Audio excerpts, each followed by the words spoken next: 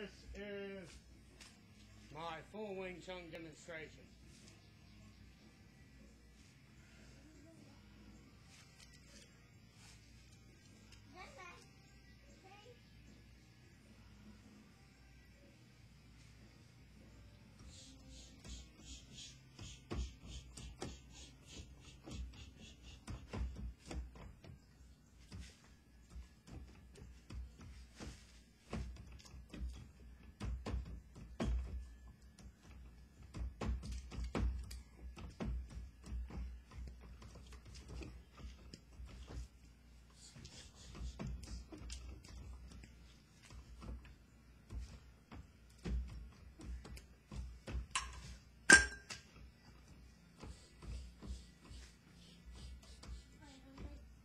This is the two arm.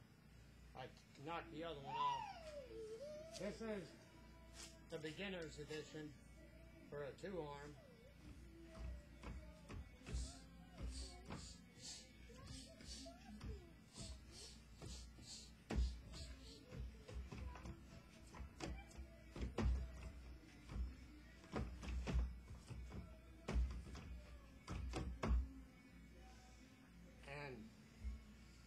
My Wing Chun dummy is made out of an old bed frame, and I cut some of my metal fighting sticks in half, put soda cap on the end, duct tape on one end, drilled some holes, and this is my leg kicker.